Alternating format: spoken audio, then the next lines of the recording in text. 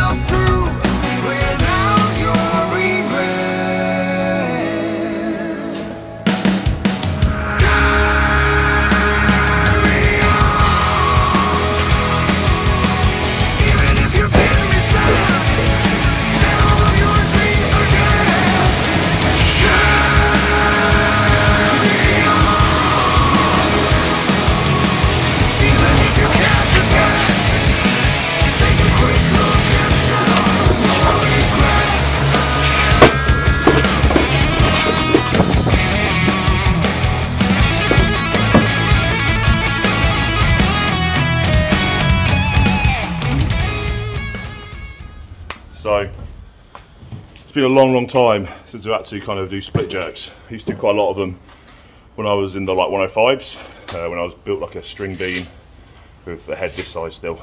Um, so I used to utilise them quite a lot, but it's been like a long time and yeah, it's feeling proper alien, so it's gonna take a little bit of time. There's right now there's gonna be a load of strongmen doing behind the neck jerks and stuff like that, and there's gonna be a lot of weightlifters, you know, proper Olympic weightlifters, just laughing at us like look at these fat idiots trying to be Olympic weightlifters. But hey, we're trying our best, guys. Most of us have got shoulders like iron, so trying to get under the barbell is probably the biggest challenge. So, yeah, be kind on us, the Olympic weightlifting community.